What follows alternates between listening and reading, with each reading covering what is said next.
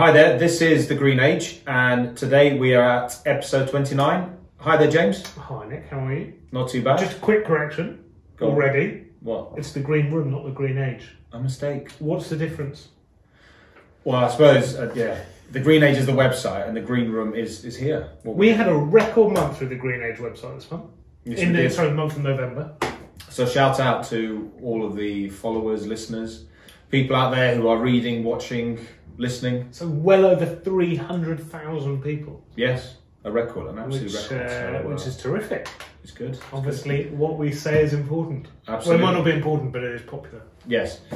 Uh, so that's great. Anyway, so this is the Green Room. So this is our podcast. Mhm. Uh, as you say, we're on episode twenty nine. hmm Um, and uh, go on, tell, tell me. Go on. So we thought, yeah, we thought we'd go a little bit political today. Not in, not go political, but talk about you know the, the relevant topics because you know do have an election coming up.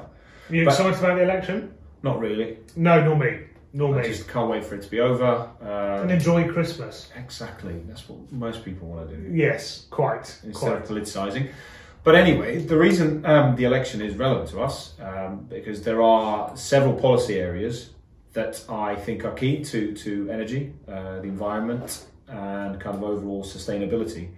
So what we thought today is since the parties have gone and launched their manifestos, uh, important to say uh, we covered Labour in quite a lot of detail. So today we'll, we'll skip them and compare them to all the other parties. Um, since the the manifest- manifestos have come out, uh, they that's like just a manifesto, isn't it? It's, all, it's you know after the election, it all becomes a blur, doesn't it? yes. And ends Yes. up on a pile of recycled stuff. Well, hopefully they'll recycle it um, and not just burn it and throw it away. Um, but anyway, yeah. So I'll, I'll stop uh, muttering on and ask you very importantly first before we get into it. Yes. How can people find about this podcast? So the podcast, uh, you can go onto Apple, Apple Podcasts, I think it's called. You can go onto um, Spotify. You can go onto Stitcher. You can go onto Podbean, which is where we're hosted. Um, you and that's that's if you want to listen to us, or you Yeah. can go onto our website, which is the Green Age website.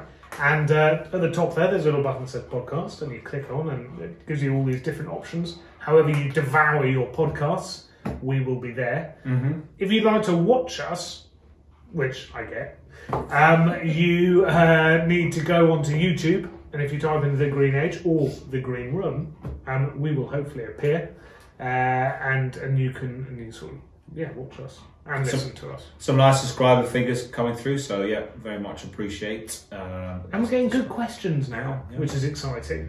Um, which we, you know, as, as I guess as your subscriber uh, subscriber base begins to rise, you do get more questions. So this one we're going to do sort of the politics around the election and all this sort of stuff, and, and you know the environment. But we are going to go back to the questions and back to energy saving in the house and stuff, and focus on that Yeah. in the coming weeks. I, I thought um, I thought since the, um, the the kind of climate climate emergency protests, the the parties really you know took a listen to it, and you know they spent a little bit more. I think on their manifestos than, than it would in, in previous elections. I'd say Is that what you so. found? Yeah, I think so. I think the um, I think what we've found here is the two main parties, Labour are always happy to spend and do promise to spend, but I think the Conservatives have jumped on that bandwagon as well. Mm-hmm. Um, and so this one, for the first time, they are really, you know, they're throwing money at the issue, uh, which is quite an interesting stance. And I think it's a bit of a change. I remember when we started the Green Age, um, and it was the coalition, you know, the Lib Dem Yeah. uh, Conservative coalition. Uh, we had the Green Deal came in, and you know, there was, this was going to be the energy revolution, and it, and it never really materialised. Um, but now they've, you know, they are literally looking at throwing some money. Do, should we talk about the Conservatives, what, what their offer is 1st Mhm. and then briefly talk through it? I think it's probably the easiest way. Do you want to give the headline? Yeah, so uh, I, I think with, with the other the other major parties, it's uh, they are very much focused on the home energy efficiency front. So the Conservatives want to put in 9.2 billion pounds, which I guess is over the over the Parliament rather than on, a, on an annual basis, Yeah, uh, towards energy efficiency and, and um, heat saving measures. and insulation, which is important, right? Because we've always said, you know, you should It's all about thermal envelope. That's what we're like. We always harp on about insulation. we like we like to talk about We that like first. it. That's that's exciting rather than looking at the heating side of it. So that's good. So that's a, which, which, which I'd say is is a, little bit of a retraction because remember we, we we mentioned this a few episodes ago and we were just a bit baffled why oh, it's base- to electric. Oh god. yeah and, and the whole thing about the, the heating and you know how they were going to focus on heating over the next decade and all that stuff and we just thought well the elephant in the room is surely you cut demand first before you kind of get onto those you know energy energy efficient heating measures I did, but um, just interestingly, so so this is the Conservatives, and as you said, they've offered nine point two billion pounds they're going to spend over the over the lifetime of the um, Parliament.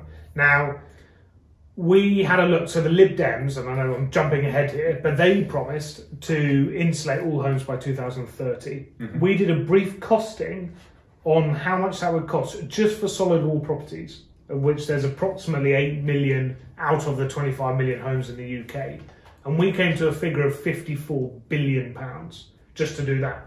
So while the Conservatives, figure, yeah it's a big number, but while the Conservatives are going to throw money at the issue, Hmm. you know, it's not. It's going to cover, say, a fifth of solid wall homes. Or I know there are cheaper insulation ideas out there, and there are Mm-hmm. cheaper insulation mechanisms. You know, loft insulation, cavity wall insulation, these kinds of things. But it's not really going to scratch the surface, Yeah. actually. yeah Um, and especially when you start looking, you know, in within this 9.2 billion, they're looking at schools and hospitals as well. These are big commercial properties, and so the cost is obviously going to be a hell of a lot higher for something like that than a two bed, a three bed house. So, so in, in essence, what you're saying is, you know, it might be say two thirds commercial, public sector type thing. Yeah. One third the, the rest. Which, which I kind of, you know, it's I, th- I think it's going to be underwhelming. Yeah. But anyway, so Okay. that's their first one. So then the next one talks about the energy generation. So the, the generation. Yeah, Um, how you know how do you generate electricity? Talking about the electricity mix.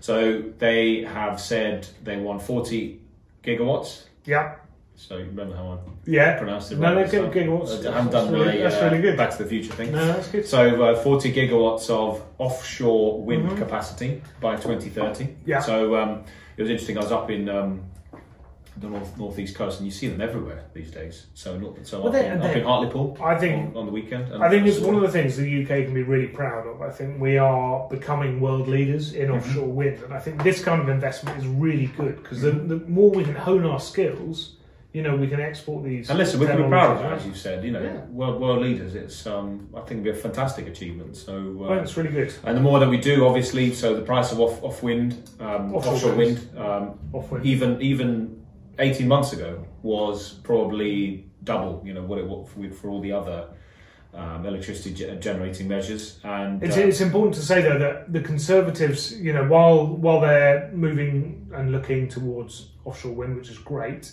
they are very much backing nuclear, so Hinkley C, um, and I think that's important as well. And I think we might come under a bit of fire from that from people watching and listening. But you know, while the move to renewables is really important, we do need baseload power because of the intermittency Mhm. of the renewables.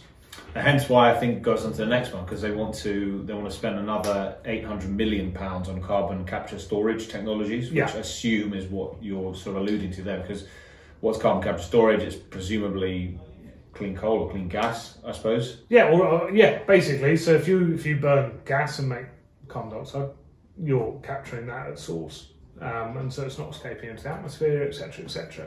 Uh, so there, I mean, that is to do with base load, and obviously we need base load power somewhere, Mhm. right? Because unfortunately we don't live in LA where it's you know lots of sun, so we can power our homes on solar.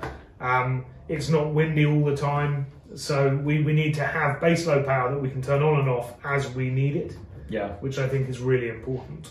And then another another half a billion towards the energy intensive industries, which um, I don't know actually. Steel? Well, but That kind of stuff is in China now, isn't it? We've got a little. Yeah, it is. Yeah, yeah, yeah. But they, you know, we, we shall see. Because if the Conservatives were to get in, they're talking about uh, promoting homegrown technologies, aren't they? And uh, homegrown industries over competitors, which I'm not even sure that's allowed. However, um, if that was the case, then obviously they can try and make those less energy intensive, which seems a very sensible idea.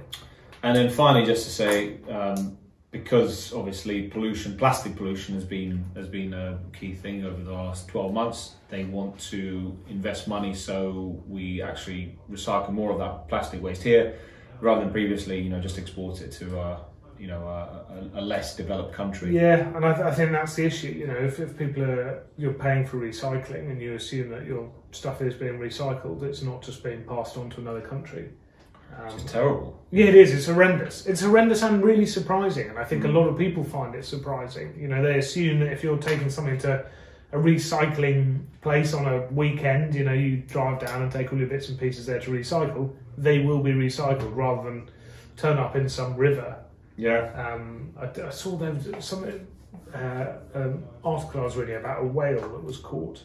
Oh yeah, there was In- there was, what, was a ton of there was a ton of uh, wa- uh, plastic, waste in, in its stomach. and Yeah, all this sort of stuff. Yeah, that- that was yesterday. Wept. I mean, it's just horrendous. that was isn't it? yesterday. Yeah, washed up. Um, so we, we need to take this a hell of a lot more seriously. So I'm, this kind of I think this thing is really important. Um, but that's conservatives in a nutshell. So we I mean we've got a few to go through here, so we are going to race through them. But so we've got this 9.2 billion pound spend.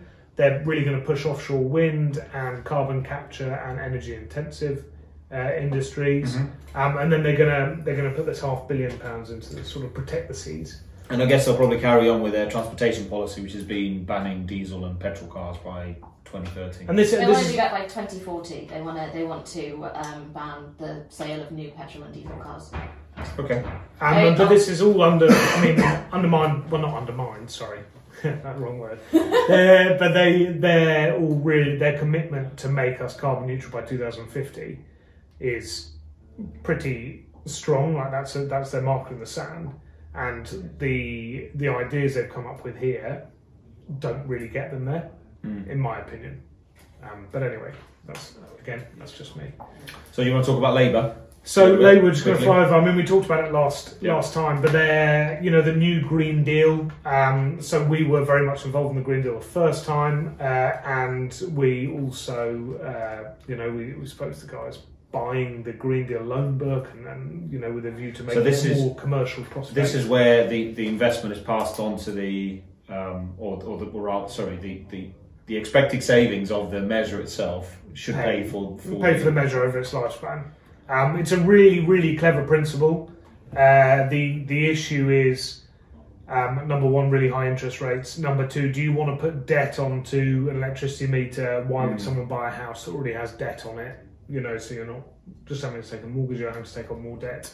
Uh, so that's an interesting one, and we discussed it. You know, if you want to listen to it, go to episode 28. They can work, I think, if the mechanisms are different. So, if you know, if it's completely reformed and they use the, you know, just low interest from the private sector, but not necessarily going on the electricity meter, going on to, you know, as a mortgage product or Yeah, I, th- I think that's. I think yeah, yeah, I agree, and I think um, I think the the other thing is that the the life savings of some measures. People assume if I put a new boiler into my house, it's going to make a huge difference, right? If I've got a 15 year old boiler and I put a new one in my house, we're talking like two three percent energy savings potentially.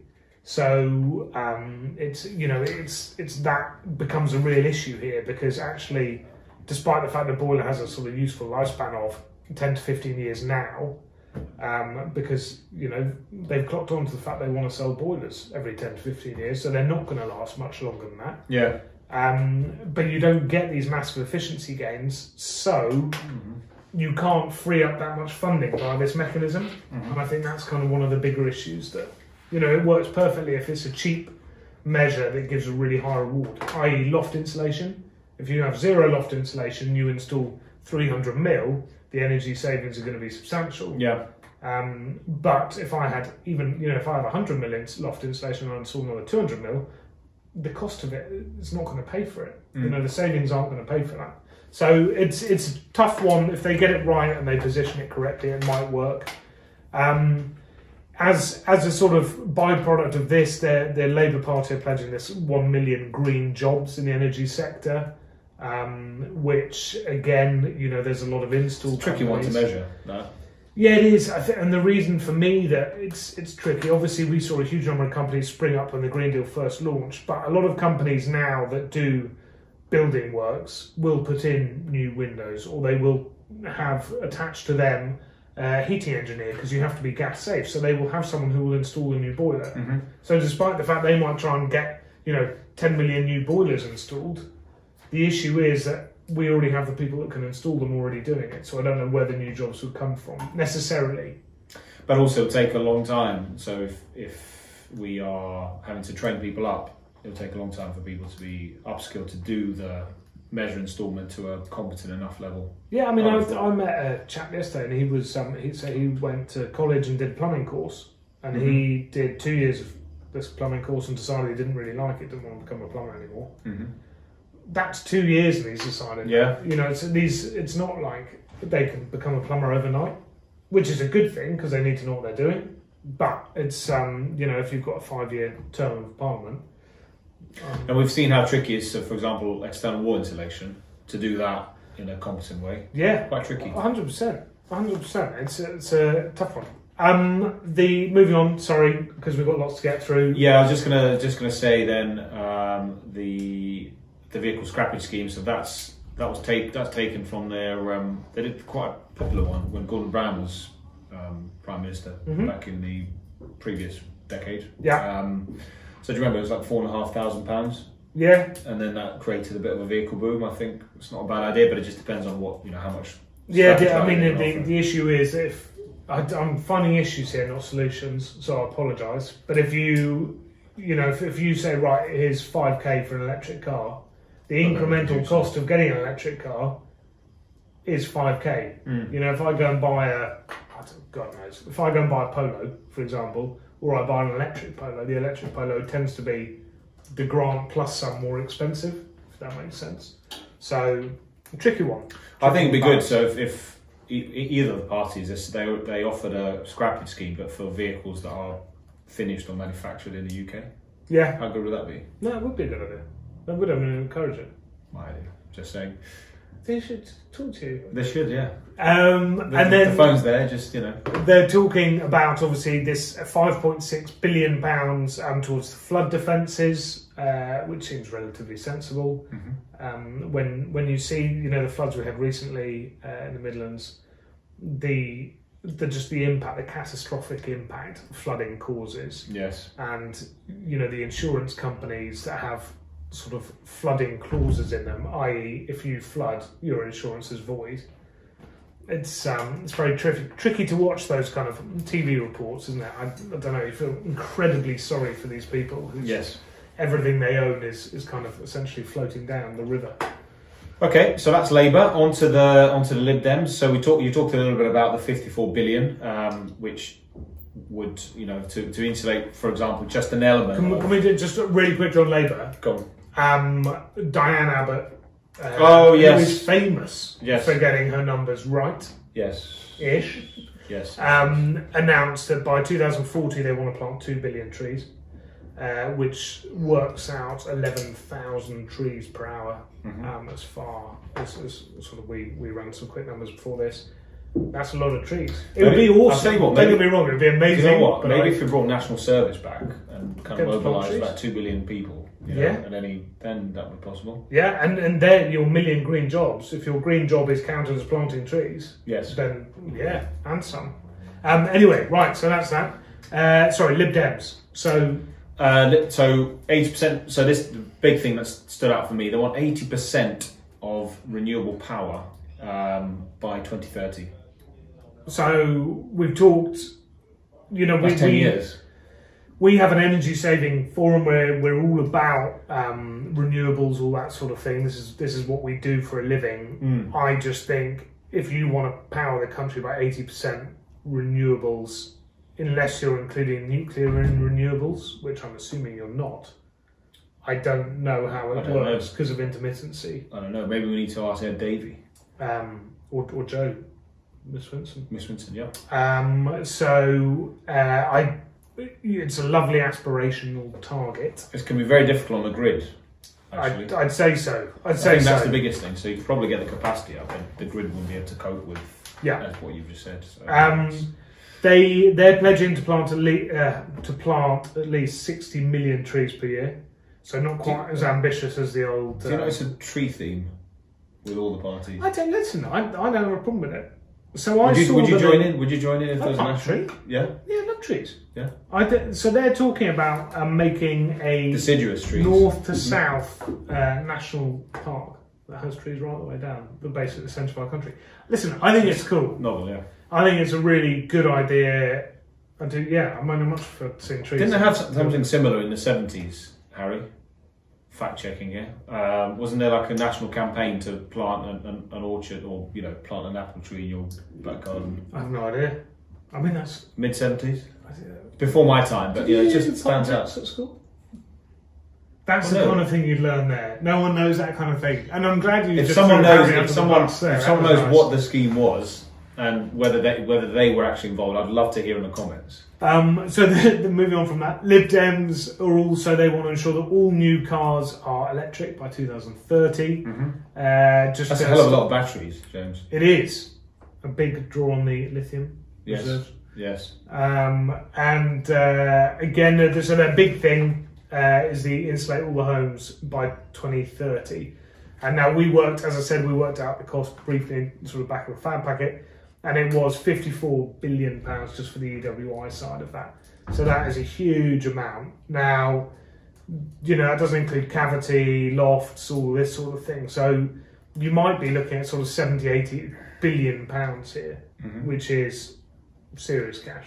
And on top of the 14 billion, I'm just going into Mr. Giedman was on, on the radio show um, for their childcare gonna be a hell of a lot of commitments there. So I think when the Institute of Fiscal Studies looked at it, yeah, it's just they looked at the numbers and they just thought, hmm, just they weren't quite sure where the money would come from. But anyway, very ambitious, I'd say. yeah, Probably one of the most ambitious ones uh, of, all, of all the main parties. agreed, agreed. And then they're um, so they're looking to um, target obviously waste recycling. So they want seventy percent of all waste recycled, which I think is very admirable. I think that's awesome. Uh, and then finally, they're they're looking at putting 4.5 billion into bus routes. Now, an interesting thing I saw here was that when um, it was like an infographic, and I've never really liked infographics, but it was a picture of a, a New York road, and it was just full of taxis and cars essentially. And they worked it out. So they basically said in this picture, you've got you know 150 people or something, Mhm. but there were loads of cars, cars everywhere, obviously, and they're Yeah. saying an average of 1.2 people per car. I, I, in some cars there's two, and most cars there's one person. They then did the same thing, and they just showed two buses, and they said the same number of people in all these cars could fit in these two buses. And it was quite a striking thing to see because you're like, wow, actually, if we did get the bus network right, and I think in London, you know, the the um, the cycle highways, which again is great because more and more people are cycling, but it's completely clogged up the city. I And they're very dangerous as well. Yeah, I think For the cyclists and for, Yeah. for the drivers. I think if, if they could, st- if you could build a city from scratch and you Oh, could yeah. nail bus routes, Yeah. it would be unbelievable. But trying to retrofit them and make it work Mm. so actually the town keeps moving. You know, my commute is from north of the river Thames down to where we are here. I mean, it can take so long to get to work because you've got all these pinch points trying to cross the river, Mm-hmm. uh, and so buses potentially would be a fantastic way to take cars off the road um, if if it was done properly. So that's Lib Dems. Okay, Um, SNP. So SNP, your focusing a little bit on Scotland here for a second. So just say, although they have come out with uh, measures that they like to see across the UK, the SNP. So um, so net net zero by 2045. So five years more. Well, they're nailing it, aren't they? In terms of renewables, yeah, Scotland. I'm not going to say S and P necessarily, but Scotland are doing fantastically well in moving towards, um, you know, renewables Mhm. essentially and powering the country by renewables. They have a lot of hydroelectric. But it's, yeah, because the topography of the country allows them, allows them to Mhm. be, and off, offshore wind, I suppose. And, Yeah, Um, and and, if, and they they're looking, you know, they were looking at tidal um, power in near the Shetlands. that's Harri's Tidal Lagoons. Harri's favourite. That's it. That's it. well, But yes, um, so that's that's one of their big things, and I think actually they really could get there. Mhm. Um, gone more. What's uh, so diesel diesel petrol cars out by 2032? So again, this is becoming a sort of common theme now. But 2032 is still a couple of years after the Greens and the Lib Dems who want 2030. We haven't got to the Greens yet. Yeah, well, we've got past Lib Dems without much. Um, yeah, true. Uh, so absolutely, um, they would like a green and green New Deal. So I, again, this I don't know if that's similar to Labour's Green New Deal. Mhm. I assume it is because they tend to have policies in common. Green energy deal to ensure renewable firms can plan for. So it's more about the commercial sector. Um, and then the North Sea oil, they're, they're looking at ring fencing the money from the North Sea oil uh, and using that to for So let's invest in various Yeah, I d- measures. I mean, unfortunately, those tax receipts have gone right down, but you know, we shall we shall see what happens in the future. Um, so I think the S and P's one is ambitious, but I think Mhm. it's probably the one that they're most likely to get to. Mhm. Is that fair? Yes, but what if um, Sturgeon gets her way and they have another referendum and they, Become independent. yeah, then where does that leave them in terms of do they have the money to do this? Do they have the infrastructure? Or, But they've they've got all that black gold in the North Sea. and they've also got most of the wind farms. So yeah, I, I, I probably a bit too much of a I, area. again, I, I think that's moving off the energy policy more onto more onto other bits and pieces that we probably shouldn't touch on here. Um, anything else about the SNP? Sorry, I just it, it was called Plant a Tree in '73. Good man. God, you have some random. Plant a Tree in '73. So if anyone remembers that, Uh, so we're so we're off the SNP onto the Brexit Party. So the Brexit Party, if you've seen uh, Nigel uh, come out and basically say, well, yes, in an ideal world, everyone should drive an electric car, etc., etc., Mm. but I don't. I drive around and you know I smoke like a chimney and all this sort of stuff. He's he's not the kind of I don't know the flag bearer, no. I guess. But he does ride on a he does ride on a double decker bus though, so you got to give it to him in terms of his carbon footprint campaigning around the country. Um, but they're, but they're, I mean, they've gone. So in their manifesto, they don't really separate it out into a sort of environment policy. I, I think this tree tree policy. planting thing was something that he came out with, and everyone else kind of No, just it came out in '73, mate. You've just told us. No, Plant talking tree in '73. talking about the Brexit party. um, but their other thing uh, is we we can't export any waste, um, which I think again I think is admirable. I think it's a lot of the parties have this. You know, they're all targeting how we can deal with waste, and if you if you do, you know, sit on Google and you have a spare half an hour, just have a look at what we do with our waste at the moment. It is absolutely unbelievable. Mhm. So I think if we took care of, of what we produce, that would be a very sensible idea. But that's about it. I think their their policy is pretty thin on the ground. I'd say. I think they're interested more in other things, potentially Brexit. I think it's interesting that they um, that they want to do all this recycling within the UK because I mean, with the way that recycling works and how we, we basically sell um, recycling is, a, is an industry um, that's designed to make money, and you know with with trade links, you know, changing with Brexit.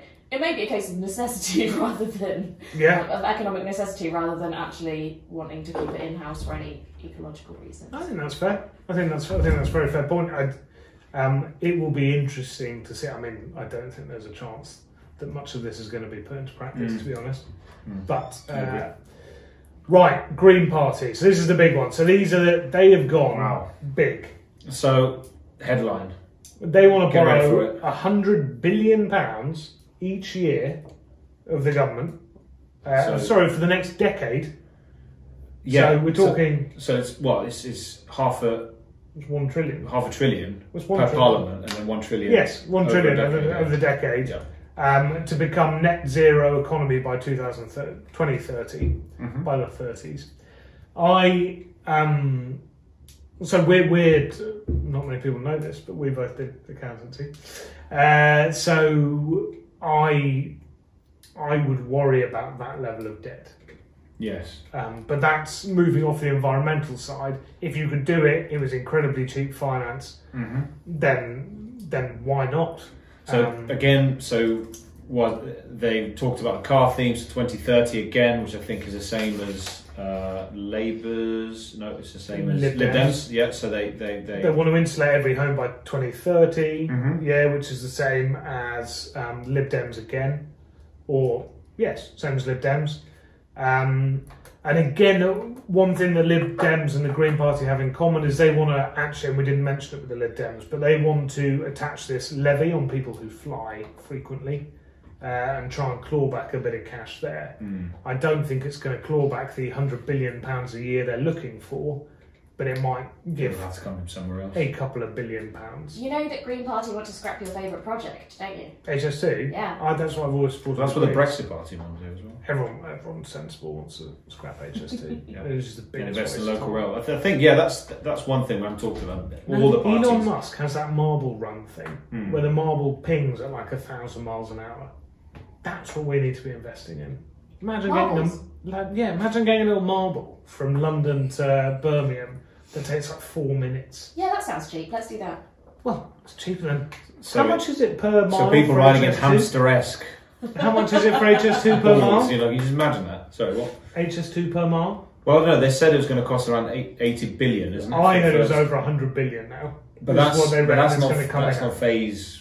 You know, the first phase is to just to do all the other. Oh my god, it's a waste of money. Anyway, But, but Anyway. I think all the parties were talking about um, investing more in, uh, in in local rail services and, and potentially you know upgrading lines and capacities on, on some you know regional and, and um, But the, but the Green, sorry, just nipping back to this now because we're getting on with time. But the Green Party's environmental mandate, as as you'd expect, is green. Is green They want- and the most ambitious of all the parties. They want net zero by 2030, I think, don't they? Yeah, That's. Ooh. that's ambitious. And I think they But- want potentially but 100 percent renewable as well, don't they? You would have thought. Yeah, you would because they do not like nuclear. No. But again, where is my baseload power coming Mm. from? That's that's my issue. Battery storage. Turn UK into one big battery, James. It's a lot of lithium, isn't it? There's a lot of rare earth metals Yes. being mined at great expense. Um, the other thing about the Green Party uh, that they've discussed that no other party has Mm. is um, they proposed a tax on meat and dairy products. Ooh. Your face is really maybe, saying, oh, maybe don't I've know. How's it gone come out today, Dad? maybe, maybe I've gone. I was going to have a meat pizza tonight. um, maybe the Green Party I'm not so sure about. I listen. It's incredibly ambitious. Uh, again, much like the Brexit Party, I don't think we're going to be seeing a huge amount of what they what they do implemented. Um, but I think good on them. Mm. Good on them, and I'm, I know for a fact that that is going to young people are going to buy into that. Mm. You know, Extinction Rebellion type folk are going to lap that up, and why not? Uh, last one. Do you want to do it in a Welsh accent? Go on. No, no, no, because then, cause then all, all my homelanders will shout at me. Why? Go on. No. but anyway, I'll Because say you guys have got to talk about this anyway. Plaid Cymru. I've just got to judge Plaid you a bit Cymru? silently and Welshly. Um, Plaid Cymru, yeah? So no, but they, but they're, one of their things is very close to your heart, isn't it? Oh, Swansea Tidal Lagoon, my there we fave. go. So there we go. Feel free to go back and listen to the So episode. Plaid Cymru, um, very much of a Welsh focus on their. Have uh, you seen any of the debates? No.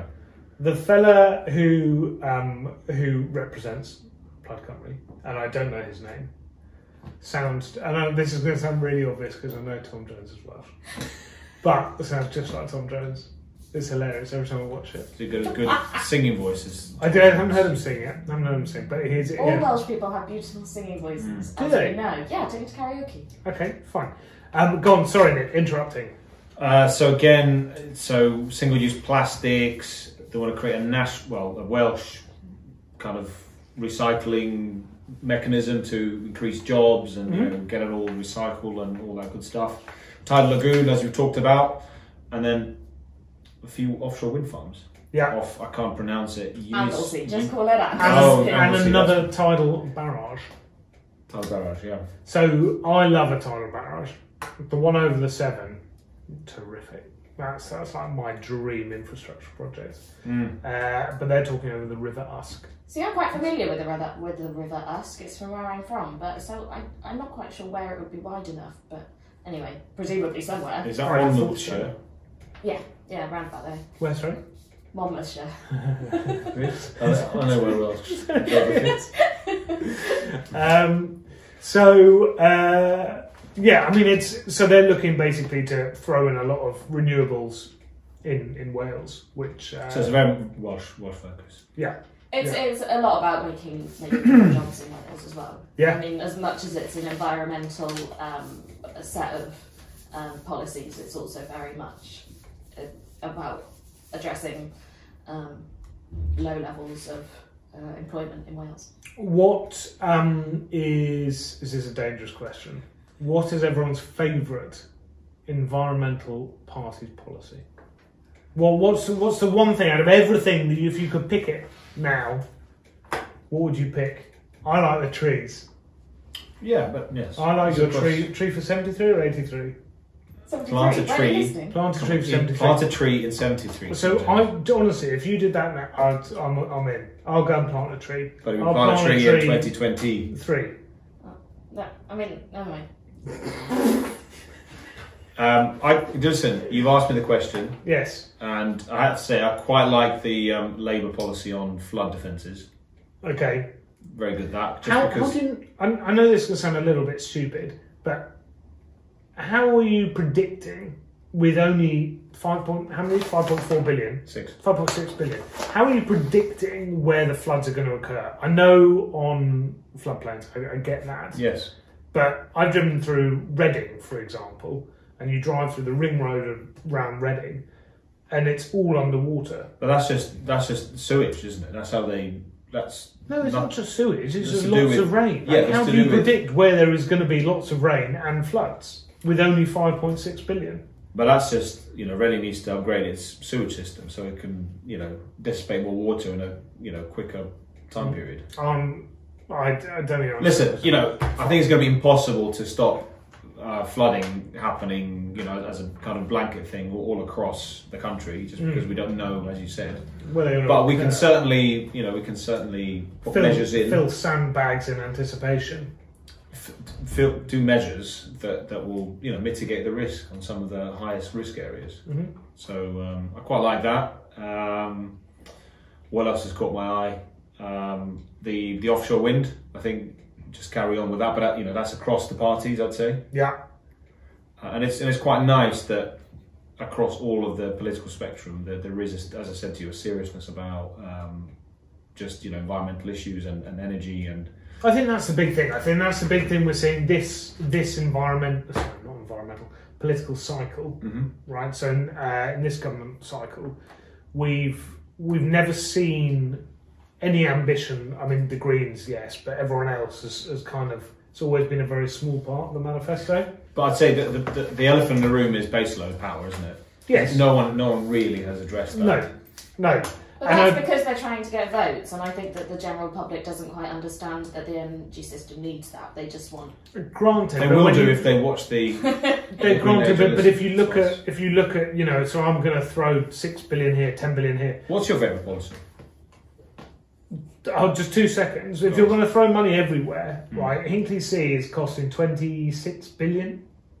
Yeah, that's a decent whack of cash of of these um, policies. You know, when I'm doing 5.6 billion for flood defences, for example, 26 billion just to get one power station that's going to do like five percent of our baseload power Yeah. you know, when all these power stations, the existing ones, reach the end of their useful life at the end of the next decade and the 30s, we're going to have to replace them with something. And nowhere is any of that costed in any of these. My favourite policy um, is to do uh, with the improving the performance, the thermal performance of the envelopes of Okay. properties, because I think that fundamentally is is the biggest one. If you can get adequate levels of insulation, we have awesome buildings in this country. You know, you go to America and they have a building that's like ten years old and they knock it down and rebuild it. Here we've got houses that are hundreds, potentially thousand or eight thousand plus years old. They're still standing. They look beautiful, and we have the ways to insulate them now because obviously when they were built, they didn't really think about these things. Yeah. Um, and if we can get it right, you know, it, it makes an enormous difference, and the thermal comfort improves massively for the occupants and all this sort of stuff. So that would be my one. It's a bit boring, but fine. I'm Do you think we should that. be looking, uh, if we had to choose one, uh, do you think we should be looking at insulating homes first, like the Lib Dems are saying, or like the Tories are saying, going with schools, hospitals, public buildings? Uh, So, so my view on this. So hospitals, the issue for me is that a new hospital is fit for purpose. If you are trying to retrofit this on an old hospital, it doesn't work. So we were in hospital, I had the baby in the summer. the amount of stupid like long corridors and stuff that you have to walk down to get anywhere. And this is basically it's because they're really old buildings and they've just got bigger and bigger and they've added new departments and they make no sense. For me, hospitals need to essentially be rebuilt, and so all of the existing hospitals need to be turned into probably flats, sold off, that money freed up, and they make built you know made for purpose hospitals. Therefore, as a result of that, they'd be really well insulated, they'd operate really effectively, la la la, which means that my focus would be absolutely on homes.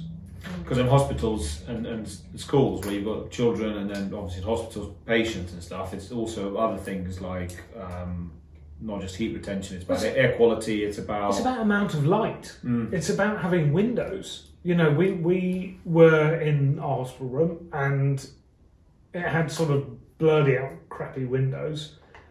If if they had really good double glazing windows, but you weren't overlooking the, the this kind of new little hospital wing they just stuck on in the seventies, then and you have to blur out the window for privacy.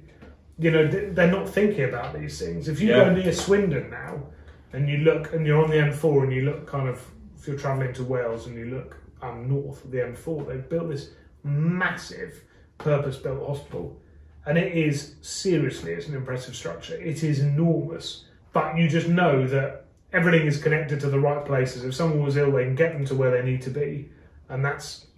I maybe want to discuss another time. So, so why aren't the politicians talking about that? Why are they? Well, the problem is the promises this for me. The promises in this election cycle are so big. Yeah, so From all the parties, From all the parties. uncosted. So Boris has come out. Mr. Johnson's come out and said he's going to build forty new um, hospitals. Right. So actually, in It's reality, eight hospitals, isn't it? I think it's six, and it's seed funding. and it's seed funding for a whole load more, and then it's a couple of wings on more. Six new hospitals in five years, if they actually got built, is a decent number. Yeah, I, that is my feelings on it. But because I have to come out and make such a, I'm going to build a thousand hospitals. It just gets yeah, it's like one a, it's a hot upmanship, potato thing. and it isn't just becomes more and more ridiculous. And actually, if Yeah. they just focused on it, but people gave the politicians a bit of a break. And I think they. I was watching the debate last night, and, I- and it was there was one final question, and this is my final thought today. Um, they were talking about uh, cross-party cooperation, and there are things that are bigger than you know a silly politician making a stupid promise that he knows he's never going to keep. Mhm. You know, they things like this, things like building new hospitals, shouldn't just be thought of to try and gain votes in for one party over one term. There needs to be cross-party cooperation that they come up with a proper plan for this stuff, Yeah, because because and that's obviously on everything. Yeah, and it's because don't forget, um, we don't just have Parliament; we have local councils that have a lot of devolved power and a lot of influence on how they spend money. So to deliver it, you've got to be working, you know, across all sectors of government. I, I, I, think. and I, I think they need to they need to come up with a, a housing policy that is not just About numbers. I, I promise Not I'm going to do 250,000 Yeah. homes. Well, I'm going to do Yeah. 251,000 homes because it's just utter crap. They need all the parties to sit there like grown individuals they are and come up with something sensible. That was the first time I was about to swear properly then. um, but it's uh, so anyway. That's that's my So the answer- today. to your question, potentially, Harri, is if they spent it more on commercial businesses, that's where you'd probably see the gains.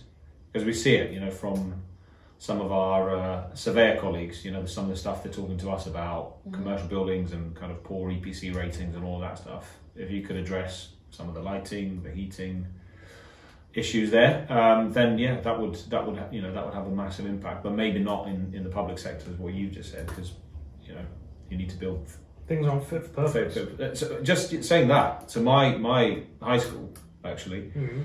was a ex World War Two um, military wing for, for for service people, and it just wasn't. So when I went to school, it just wasn't fit for, for purpose here because it had all these long corridors.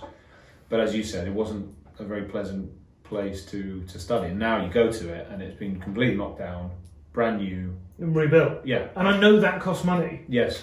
but surely the money saved in the efficiency gains of doing stuff like that And you know what? And, and, means that that's what and maybe that doing. that's not the reason, but it went from good to excellent in the Ofsted report. And I don't know, obviously, you know, could say it's because of it's been rebuilt fit for purpose, but you know, maybe, mm. maybe there is something there. So there we go. So that's our um, brief summary of Yes. uh, the political landscape in terms of the environment as as is sort of going on right now, just before the election. And next we'll be back with better regular things that we talk about anyway. I, but I do I find that hospital thing quite interesting, and I think we should probably look at, at that kind of thing maybe in a bit more detail, and we can have a Yes. wider discussion on it and throw some Maybe an thoughts extra or out. two. Yeah, good. Anything else for anyone? No? Good stuff. Well, we will. Um, we've been out for a few weeks, uh, but we're up and running again. Obviously, Christmas is very soon, so we'll have a brief break for that. Um, but then we will crack on. So We'll have a few more podcasts for Christmas. yeah, we should do. Should do. Yeah. Um, but anyway, that's it for this week. So thanks very much for listening or watching. Bye now. Bye bye.